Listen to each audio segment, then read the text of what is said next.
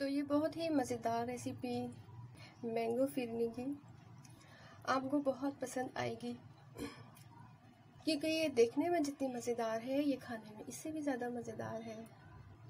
आप इस रेसिपी को ट्राई ज़रूर कीजिएगा। आप कहेंगे, वाह, बहुत ही मज़ेदार रेसिपी है। एक दफ़ा बनाएँगी तो बार बार बनाने का दिल चाहेगा। ईद भी है मैंगो भी है तो क्यों नहीं इस रेसिपी को ही ट्राई कर लीजिए। एक बार ये ज़बरदस्त सा मीठा सबको ही बहुत पसंद आएगा।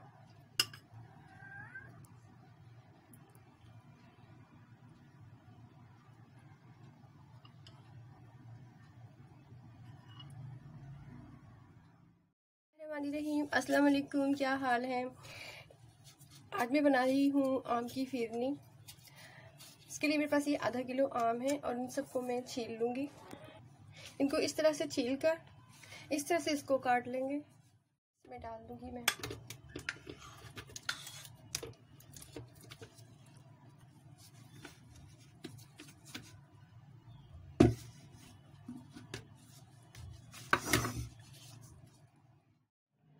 इसमें डाल दूँगी मैं।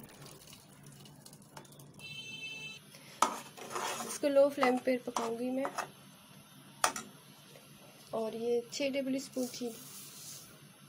अब इसको मैं जब तक पकाऊँगी, जब तक ये चीनी हल नहीं हो जाती इसमें।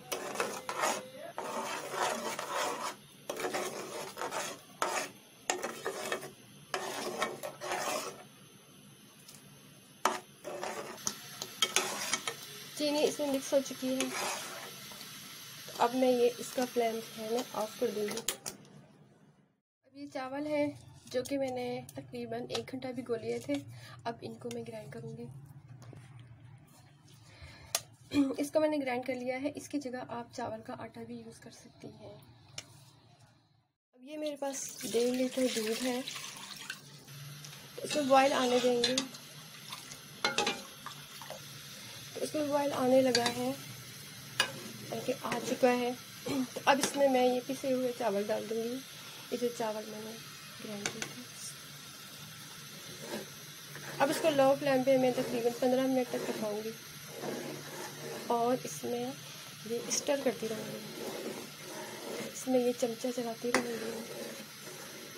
फ्लेम मैंने लो कर दिया है। पंद्रह मिनट हो गए हैं और ये पेड़नी तैयार हो चुकी है। अभी इसमें ये जो आम की प्यूरी तैयार की थी, वो डाल दूँगी मैं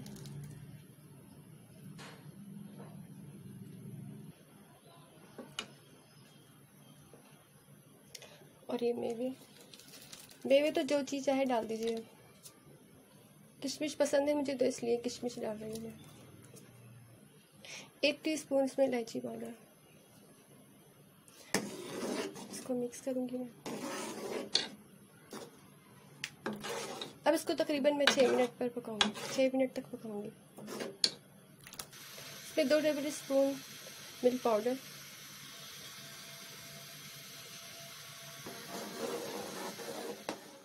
तकरीबन इसको मैंने छः मिनट पका लिया है। और अब इसका मैं फ्लेम ऑफ़ कर दूँगी। बहुत ही मज़ेदार सी आम की फिरनी तैयार है। माशाल्लाह से बहुत ही मज़ेदार बनी है। आपको ज़रूर पसंद आएगी। और ये देखने में जितनी मज़ेदार है खाने में इससे भी ज़्यादा मज़ेदार है। तो आप ट्राई ज़रूर कीजिएगा और दुआ में याद रखिएगा। खुश रखिए, खुश रहिए। अल्लाह हाफिज़।